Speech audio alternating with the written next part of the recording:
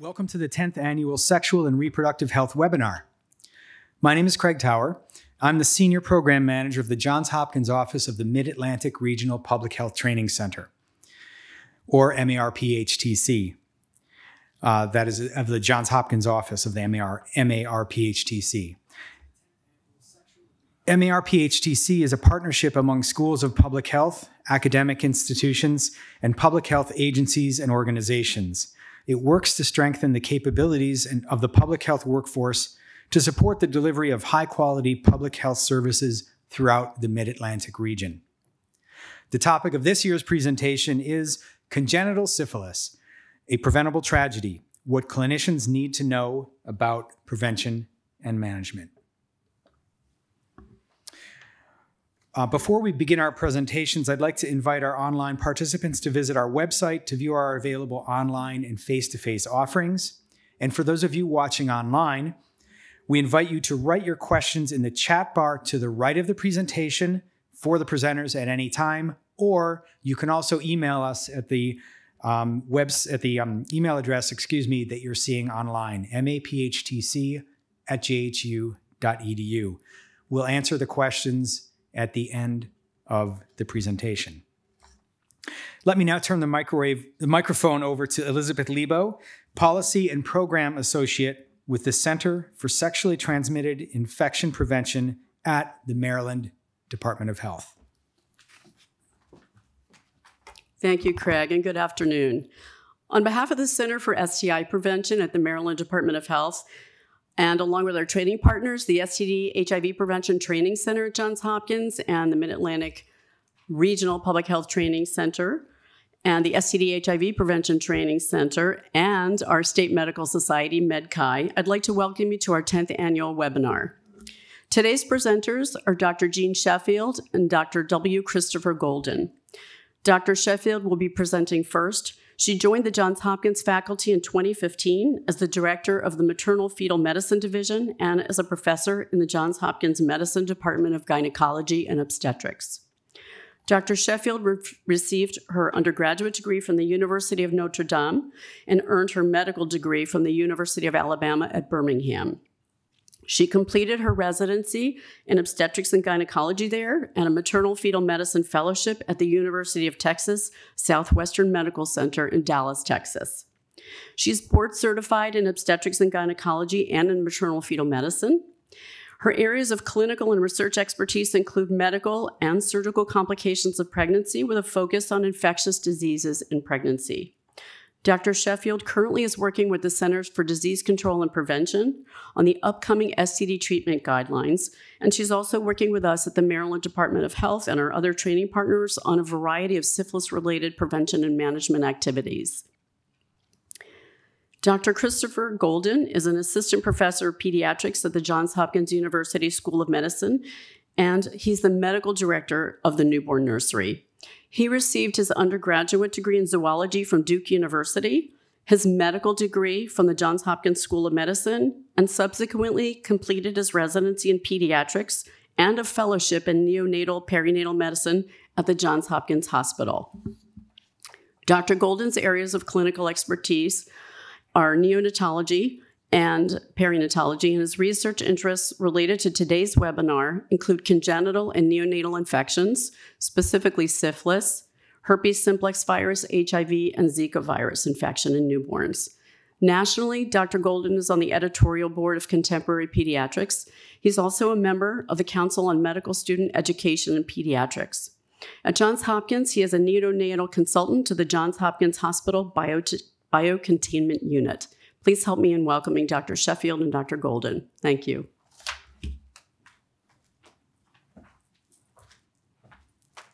Thank you, and it's a pleasure to be here today.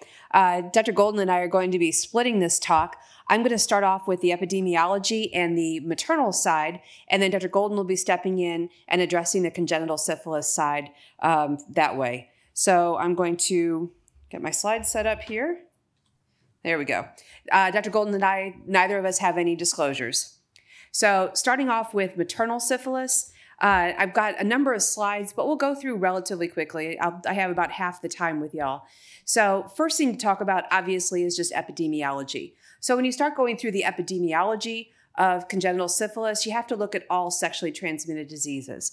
So you'll notice the 2017 numbers uh, from the CDC are up there on the upper left hand side.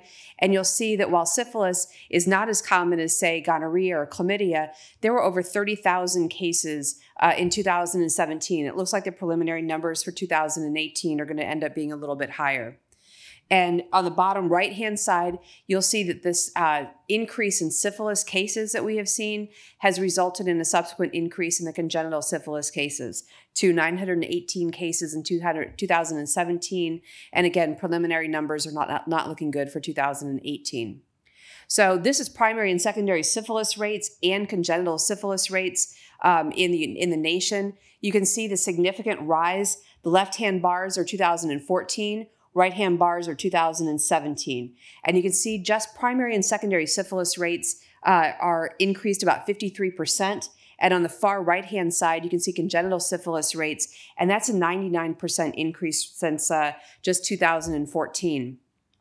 When you start looking at some of the CDC numbers, uh, these are the most recent confirmed numbers through 2017 besides that little bit of a bump from 86 to about 91 or 92 that a lot of us that have been doing syphilis research for a while remember fondly because a lot of the research came out of that time period the uh, public health and epidemiologists do not remember this time frame fondly. That was a very difficult time in the united states with such a huge rise. And unfortunately you'll notice the rise near the very end in the last four year or last several years we're starting to see it again. And this bottom right hand uh, bottom right hand graph that's just from 2008 to 2017.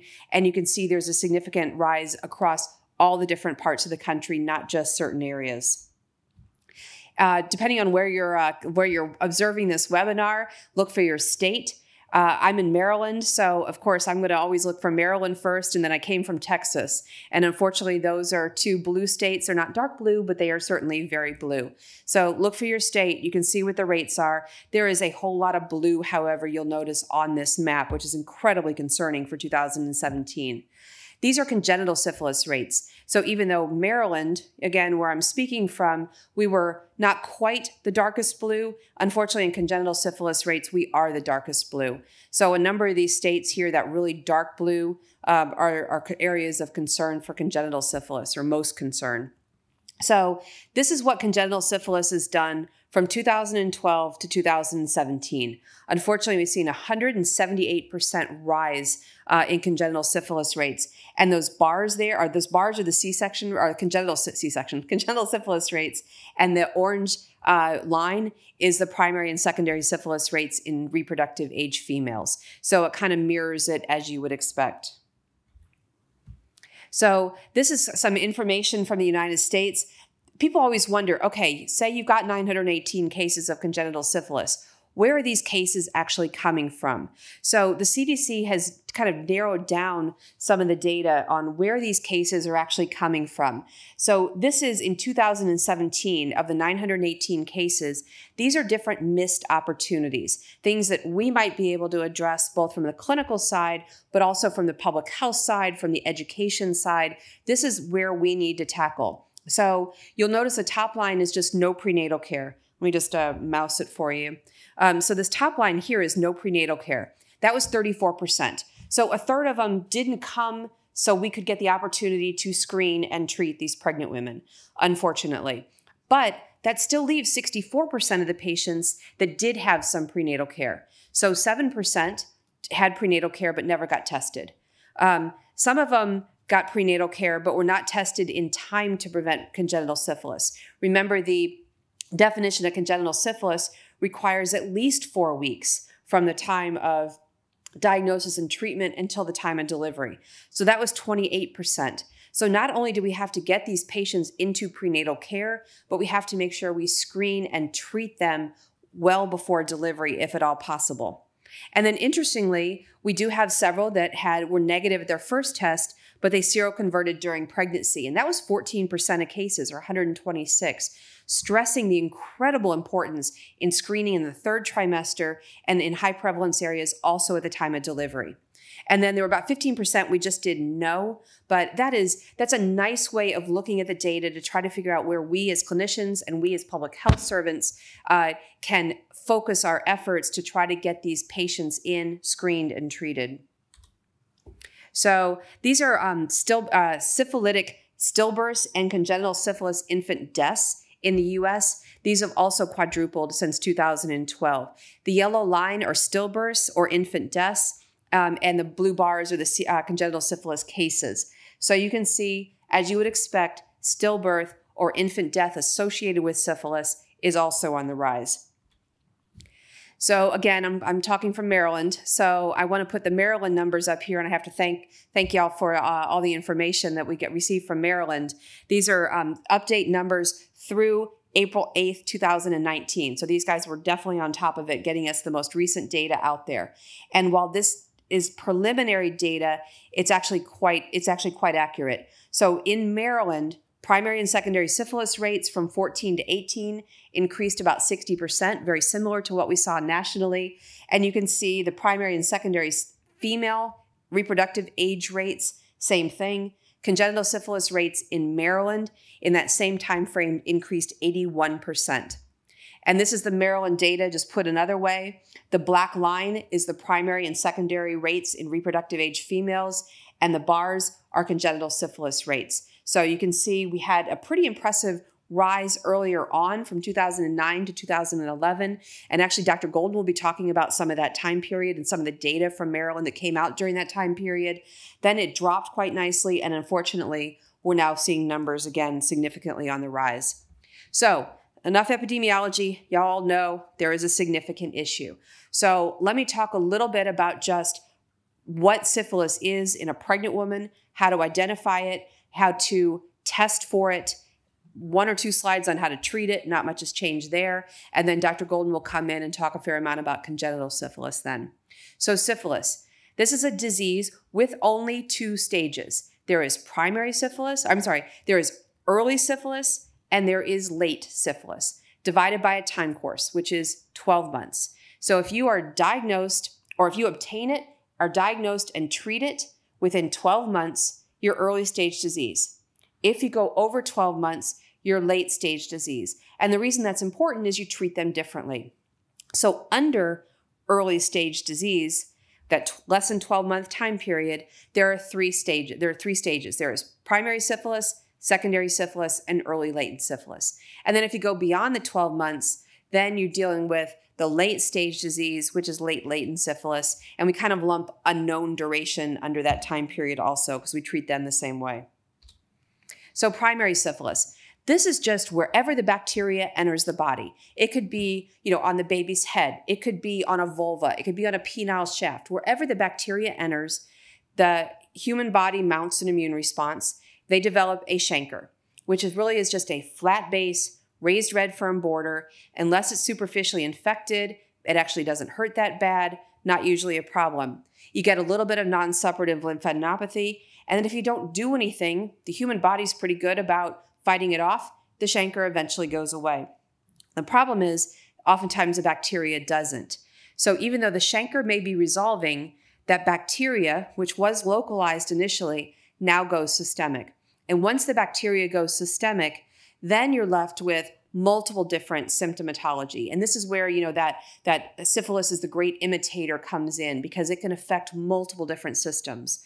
So one of the systems it can affect is the dermatologic system. So about 90% of secondary syphilis patients end up with lesions. They end up with a whole body rash. They end up lesions on their palms and their soles, which I'll show you a picture of in a minute.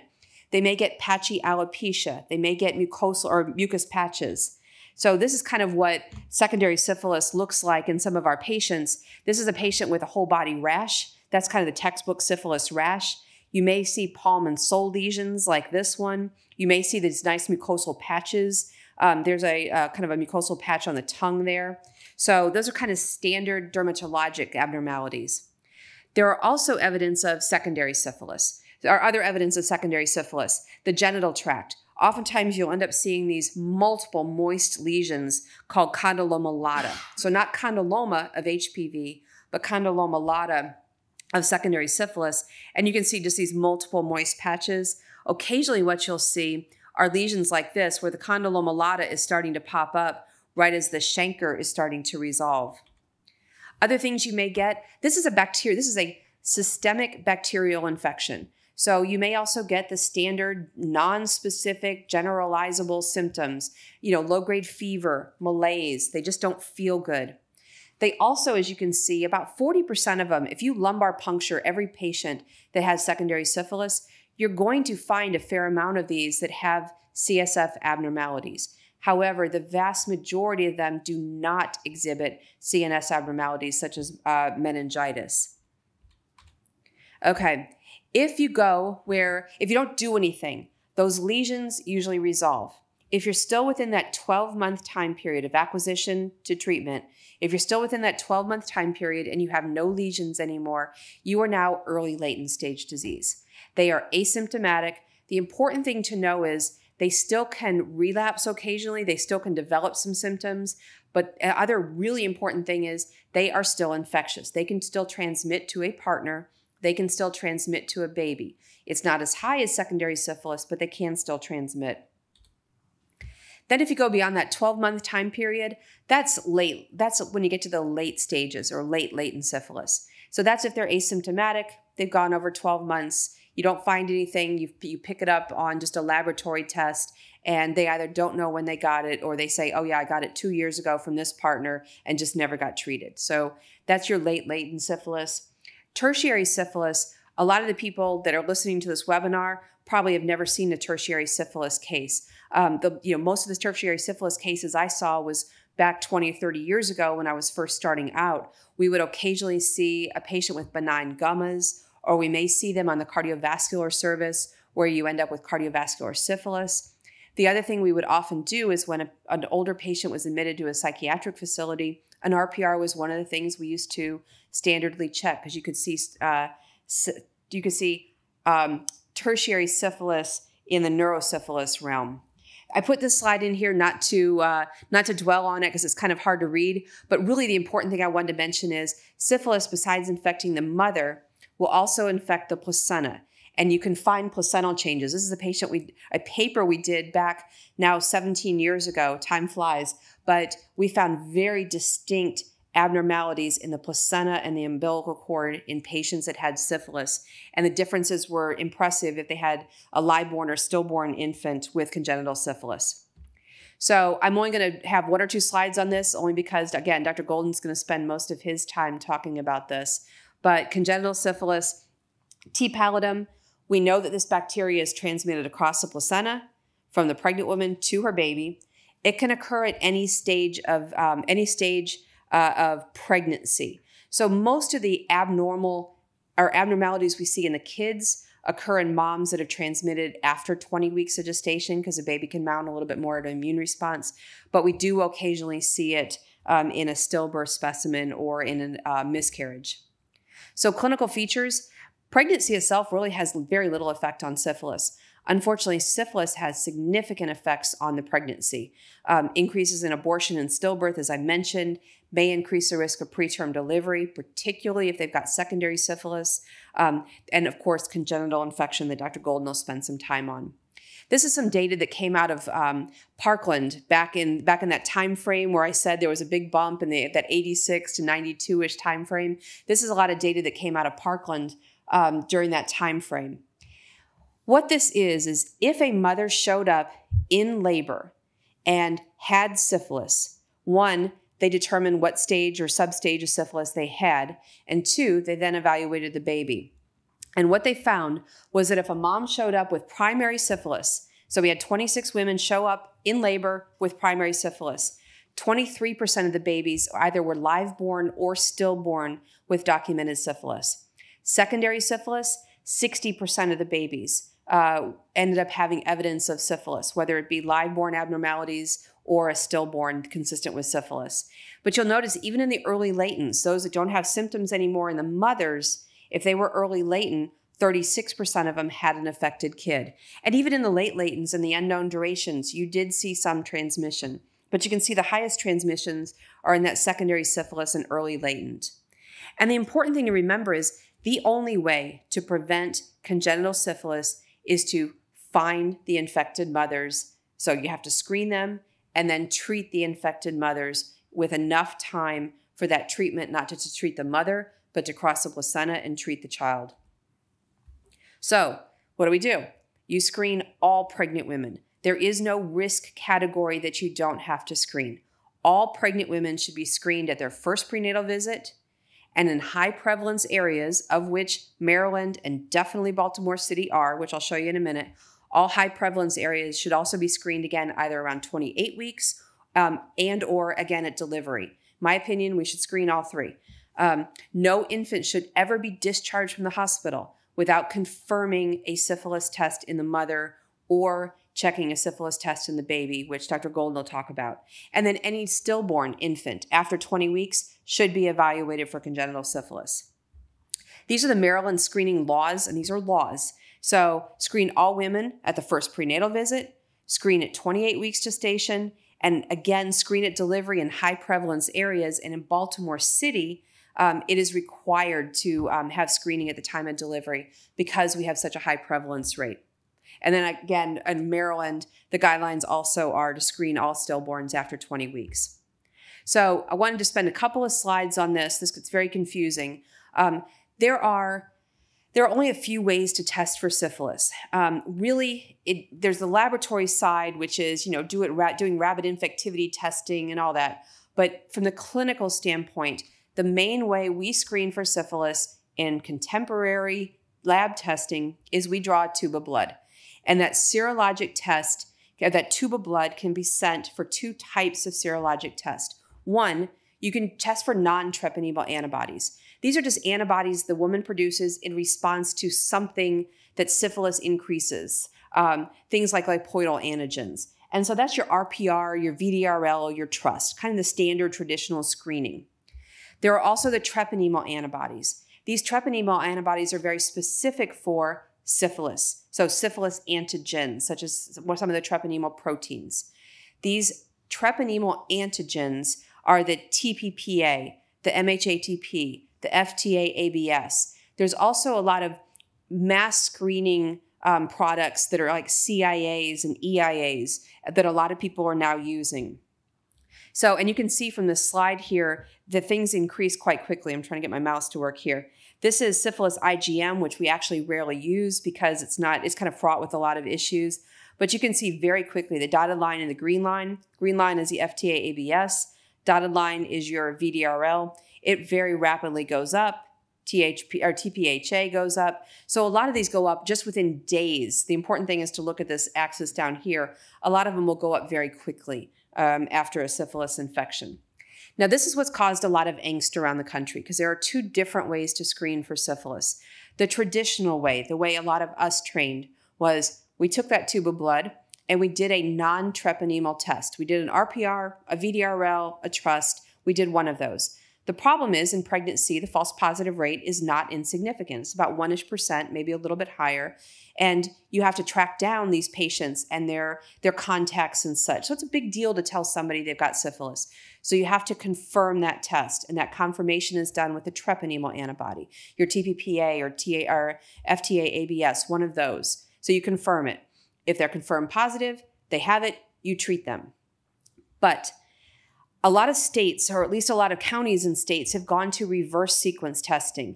This reverse sequence testing is done because the initial part of the reverse sequence algorithm uses a CIA or an EIA that you can do very inexpensive mass screening. So it's cheaper for the laboratory to do, it's easier. You can put a whole bunch of samples on the machine. So it's easy to do, less expensive. The problem is, if it comes back positive, you then have to do a quantitative RPR. If that quantitative RPR comes back negative, still doesn't mean you don't have syphilis. It just means maybe it's early syphilis. So you do your EIA, then you do your negative RPR. If, if you have a negative RPR, then you have to do a second antibody test. If that second antibody test is positive, then you know they've had syphilis. Now, it may be an old infection, it may be a very new infection, but these guys have to be treated. And Dr. Golden's going to spend a little bit of time talking about a study that he's just completed and um, is coming out in publication uh, looking at this in pregnancy. Uh, this will be a very short update because really there isn't much of an update on treatment. Penicillin is still the treatment of choice for pregnant women. There have been other things tried, such as erythromycin and such, but nothing effectively treats both the mom and the baby. So the most important thing is to get that penicillin in. It's one dose if you're early stage disease, but if you want to conf- you want to make sure that baby is treated, get the levels high enough for the baby and treat them, we give a second dose of bicillin uh, a week later. Dr. Stafford down in Texas is putting together a multi-center trial looking at one versus two dose te- or treatment and looking at long-term outcomes, and hopefully that will be um, funded soon because that's an important study to do. And then um, late stage disease, we give one dose of bicillin every week for three weeks. It is incredibly effective um, across all stages of syphilis. And what constitutes adequate treatment? Missed doses are not acceptable. Absolutely not. So if you have a missed dose, you have to start the course over again in your pregnant women. And what we like is that seven day rule. If a woman gets her first dose and she needs three, if a woman gets her first dose and she comes back 11 days later, she has to start the course over again. What we like to see is a fourfold drop in titer. That's an appropriate reduction. Is that fourfold drop? The problem is this is a, patient, a paper that Martha Rac put out um, back in 2015. You can see that primary and secondary rates drop pretty quickly, the titers. But unfortunately, the unknown duration, the late latents, the early latents, that titer may drop much slower. So oftentimes, even if you do everything right, you treat this patient at 24 weeks gestation and you get the right amount of medication in and her ultrasound looks normal and life is good, that they may still not have a fourfold titer by delivery because it can take months for that titer to drop, depending especially on what stage of syphilis it is. So, my final message on my part is just that the battle to um, decrease congenital syphilis has to be waged on multiple fronts. The obstetrician and pediatrician, of course, and you're hearing from us today. But just as importantly, the primary care providers that are out there, the state and local public health departments, um, pretty much anybody that contacts a patient that could develop syphilis, which essentially is any sexually active person, um, needs to be aware of this and needs to fight this battle together. I put this in here. You know, a lot of all states, all states require reporting. This happens to be the form that we use in Maryland for reporting. It goes through stage, symptoms, testing, treatment, no treatment. This is in addition to what the laboratory is supposed to report. So we do have provider reporting um, regulations. And with that, I'm going to pass the microphone now over to Dr. Golden, and then we'll answer questions at the very end. Thank you. Jeanne, thank you very much. I always learn a lot about adult manifestations of syphilis when I, hear you give uh, your presentation. So I'm going to um, begin now and delve into congenital syphilis. So the end effect of, uh, of what we see and what we're expected to manage. This just shows you um, in real time some of the complications, um, including uh, placentopathy, um, chronic sinusitis, uh, bony abnormalities, and hepatomegaly in the child in this initial set of slides. But let's uh, begin to talk. So uh, unlike adult syphilis, we really have two sort of brackets in which we consider congenital syphilis early congenital syphilis and late congenital syphilis. Early congenital syphilis um, is manifest in children under the age of two or with clinical symptoms. These two slides show the early onset. This is the fetal and embryonic um, manifestations of congenital syphilis from a colleague in Spain. Note the large boggy placenta and the maceration of the baby on the left and the significant abdominal distension of the stillbirth on the right, again going along with hepatitis uh, seen uh, in early onset congenital syphilis. Manifestations of early congenital syphilis do include intrauterine growth restriction. There is an inflammatory change that goes along with placental uh, infection with syphilis that limits normal nutritive transfer from the mother to the fetus, limiting overall growth. Hepatomegaly is one of the primary manifestations um, of uh, congenital syphilis. We also look for things such as clinical rashes, uh, uh, hematologic abnormalities, including anemia and thrombocytopenia. And again, this is a list of some other findings that um, we will see throughout. Some of the more common things we see, we see this little baby here um, with again hepatomegaly and a, um, and a rash that we call a copper penny rash, diffuse rash. This is an autopsy specimen. This is called pneumonia alba, not clinically seen very much anymore, but in children at autopsy who have syphilis, we'll see sort of a whiting out uh, of the uh, normal lung architecture. Okay. We have a child with syphilitic snuffles. Um, this is diffuse um, rhinorrhea, continuous and loaded with treponemes.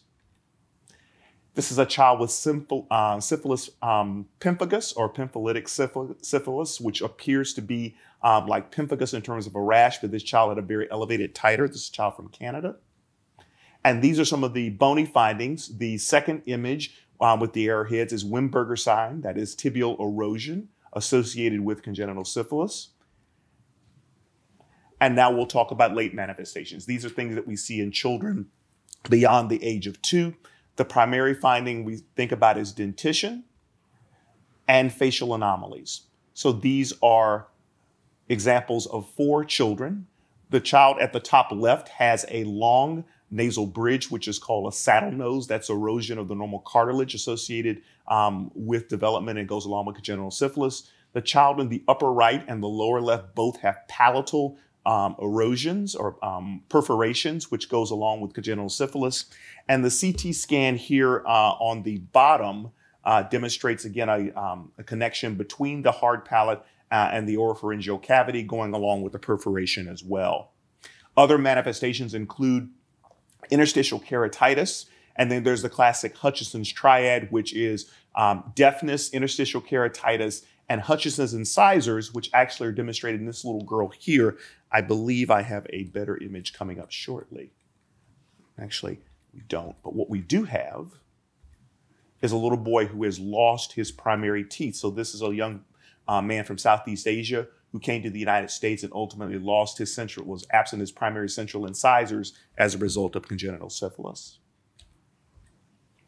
I'm going to again refresh your memory about the presentation of primary and secondary syphilis in the United States. Again, in 2017, there was a significant increase in the Western United States, though there are multiple states in the uh, in the uh, lower Midwest and the Southeast that were in the blue or the lighter blue color. These are areas of high incidence. Uh, and then also, if you look at the uh, the rates um, for congenital syphilis, you'll note again that the western states, California, Nevada, and Arizona, had high numbers. The state of Texas did, as well as Maryland and North Carolina and Florida. Again, not exactly corresponding, but again, reflecting the fact that though the numbers may be a little bit lower here, there's still a significant burden of congenital syphilis, likely reflecting what Dr. Sheffield said is that some mothers are not seeking treatment or receiving appropriate treatment. Again, to refresh you, we have an uptick in the number of uh, congenital syphilis cases, 918 again, um, uh, including 64 syphilitic stillbirths and 13 infant deaths.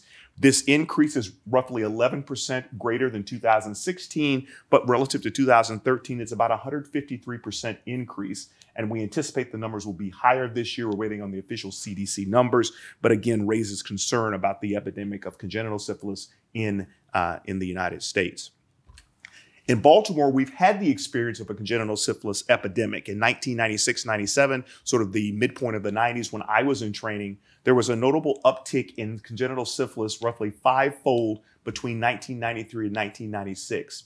And a small cohort that was um, noted between early 96 and mid 97 Unfortunately, the primary characteristics in Baltimore City were that these women were African American, single, often unemployed, and had significant problems with drug abuse and that 80% of these women had some period of contact with governmental services, either social services or uh, through um, incarceration, but were not adequately treated. So, again, this remains a big problem. We have the opportunity to treat, but we don't intervene.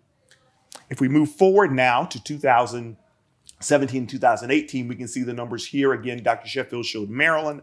I'm going to highlight Baltimore City.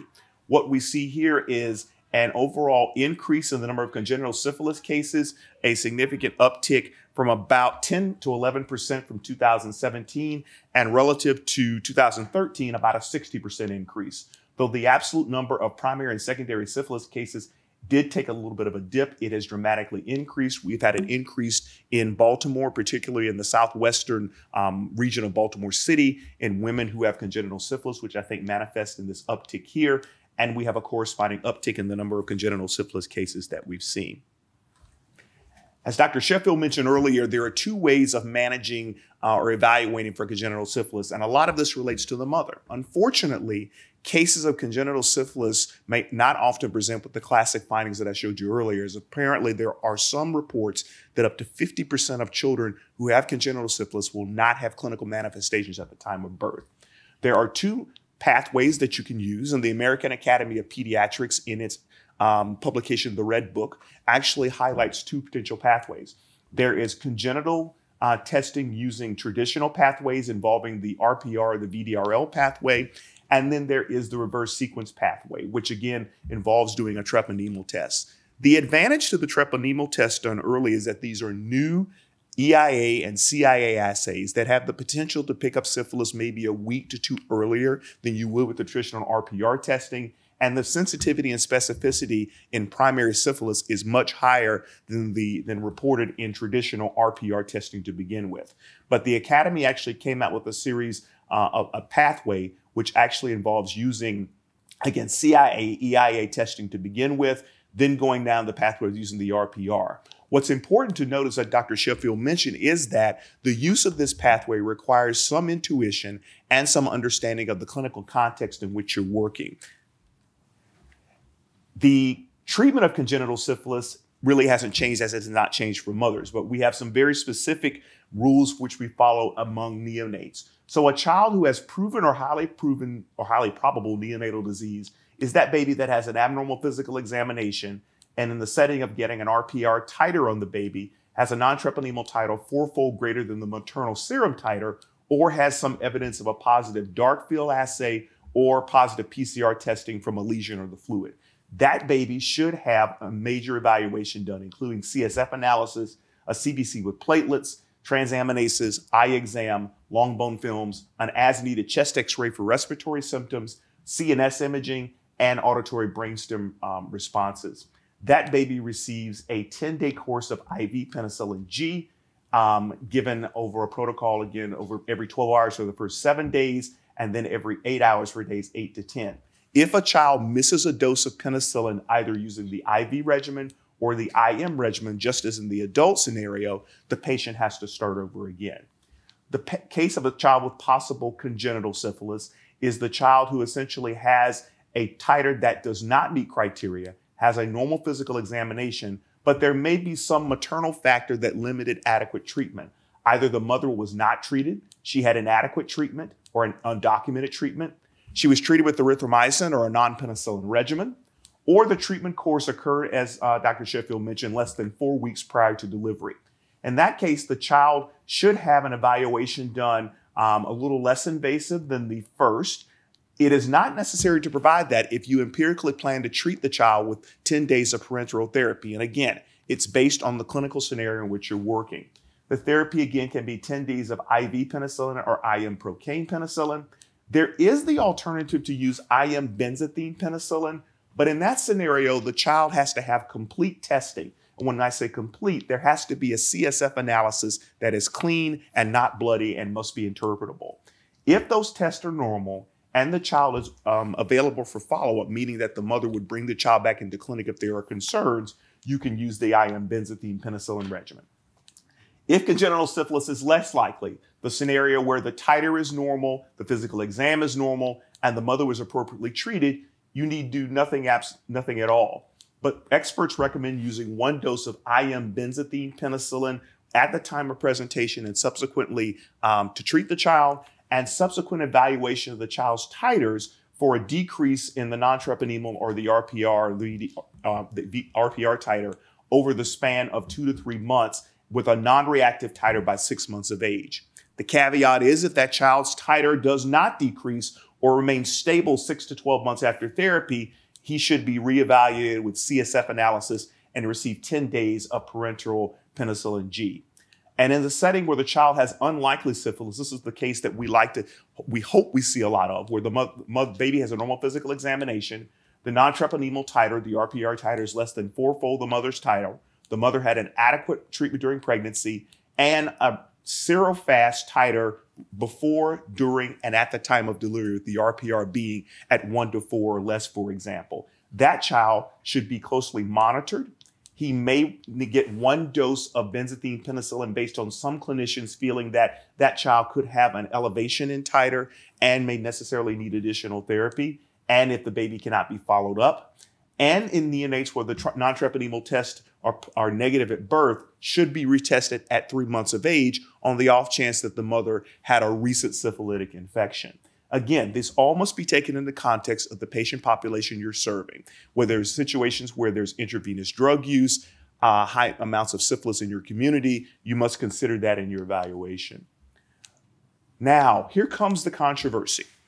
A CIA and EIA test is very valuable, again, in sort of picking up syphilis early. It's felt to be a much more reliable test.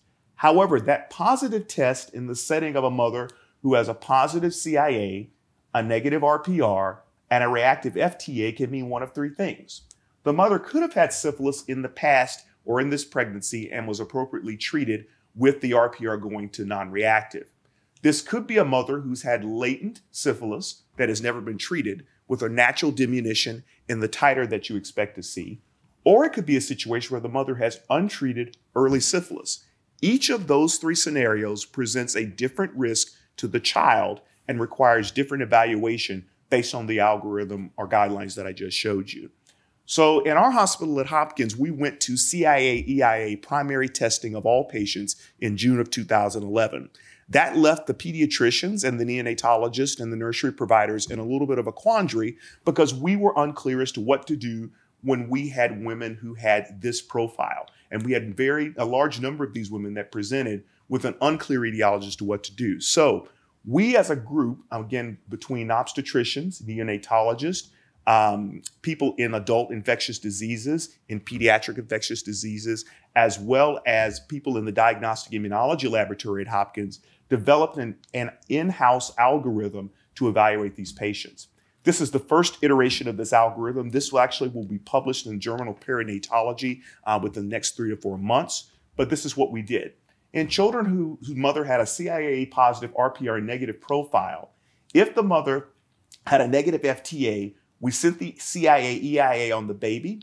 If the RPR was negative, we felt that that was a false positive and that no testing or therapy was needed. In the scenario where we had a mother who had the CIA positive, RPR negative, FTA positive profile, we sent the CIA um, RPR on the baby and we evaluated, the OBs evaluated the mother and decided to treat her based on clinical indication. There were some instances where the FTA was pending, and I'll go into that on the next slide. In that scenario where the, uh, the RPR was negative, but the FTA was still pending on the mother, we would have the mother, uh, the baby, treated with a dose of benzathine penicillin and follow up the mother's FTA and have the patient follow up. If the baby ultimately was, if the mother's FTA was negative, nothing else needed to be done. If on perchance the mother's FTA did come back positive, or it, as seen here in this scenario, we went down the following algorithm. We were very, very conservative given the high incidence of syphilis in Baltimore City, and we chose to do an extensive workup, which actually included an additional feature, an abdominal sonogram, looking for evidence of hepatitis or hepatomegaly as well. If the child had a negative RPR and any of the tests were abnormal, we would empirically treat for 10 days, assuming that this was an early syphilitic infection in mom, the baby had not had a chance to react, and that we would appropriately treat the child. If the baby had normal testing, we would do a one time dose of uh, benzathine penicillin to treat the infant. This came up with a lot of consternation amongst our colleagues because we were worried about treating multiple patients for long periods of time with penicillin. And in a setting in Baltimore where, yes, we do have high numbers of women with congenital uh, with syphilis, but we also have a lot of women who've had syphilis and have been adequately treated. So we have the caveat here that any baby that had abnormal physical findings would need to have the evaluation done.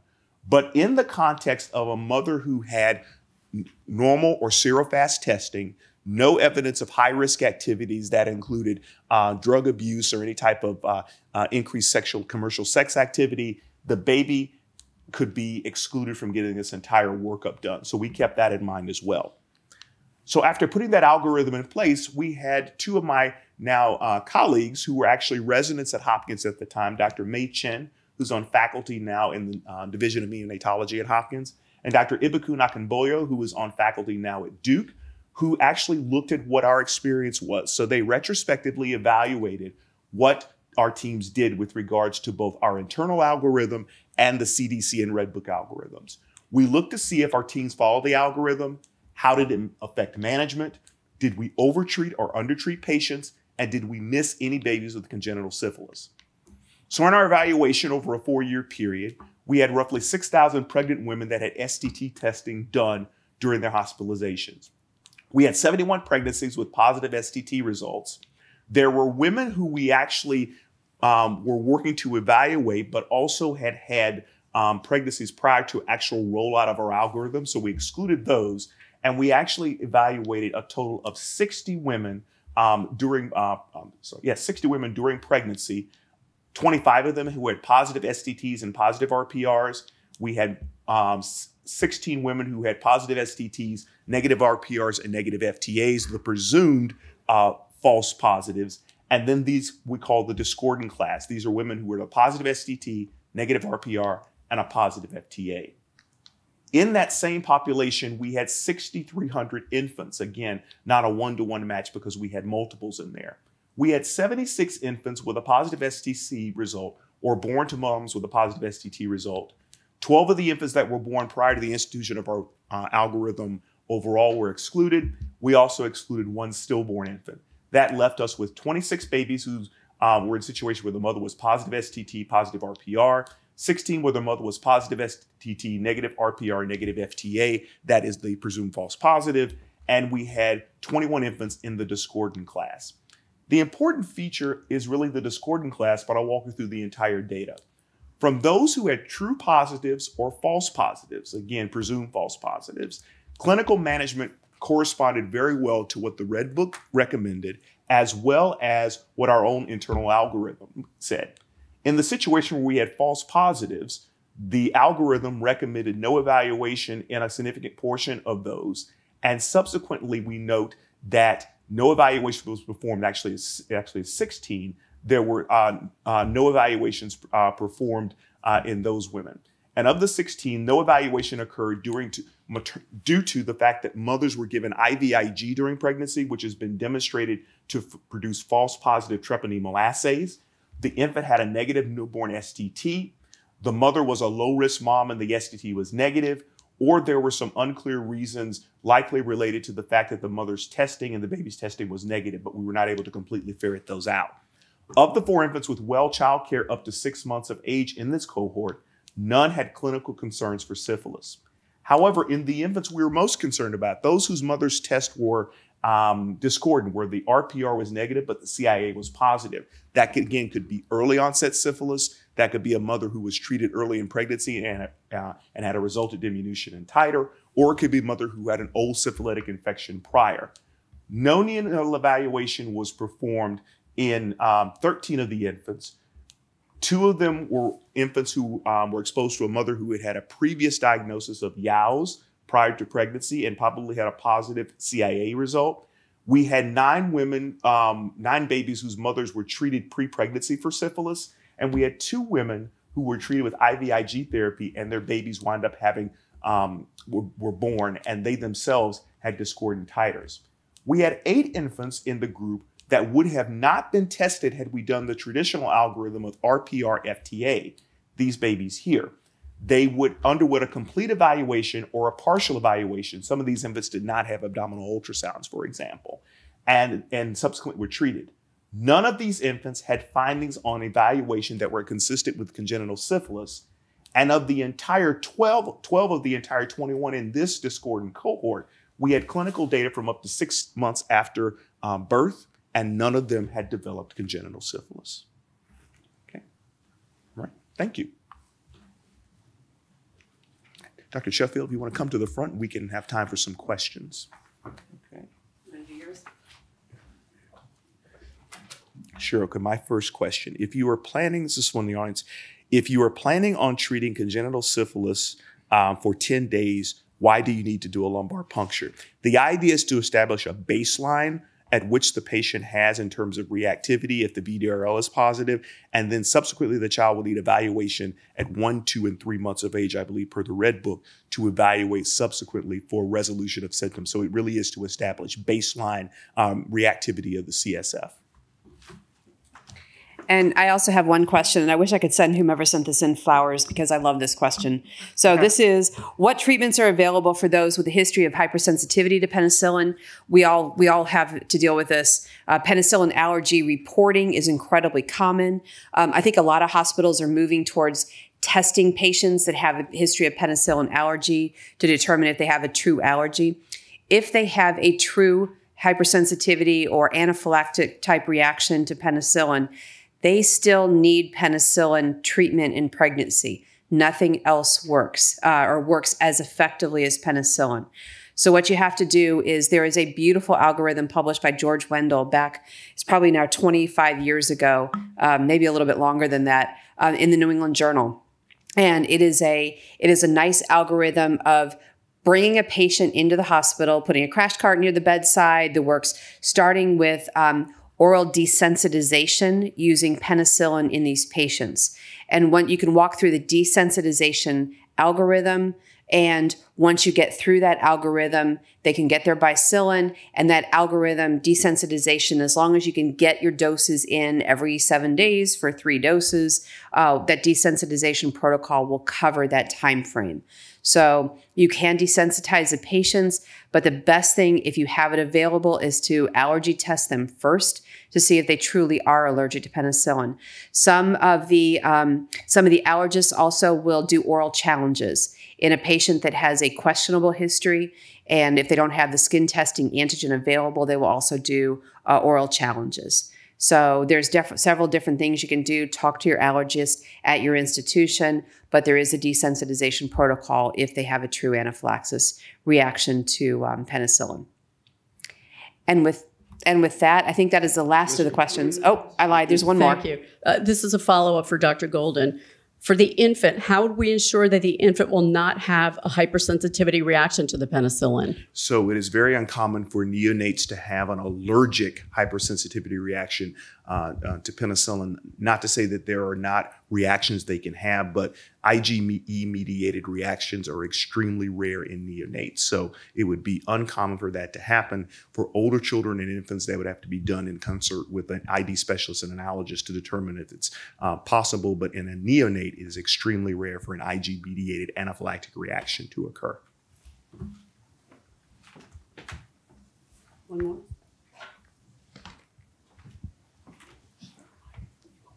Oh, yeah. excuse me.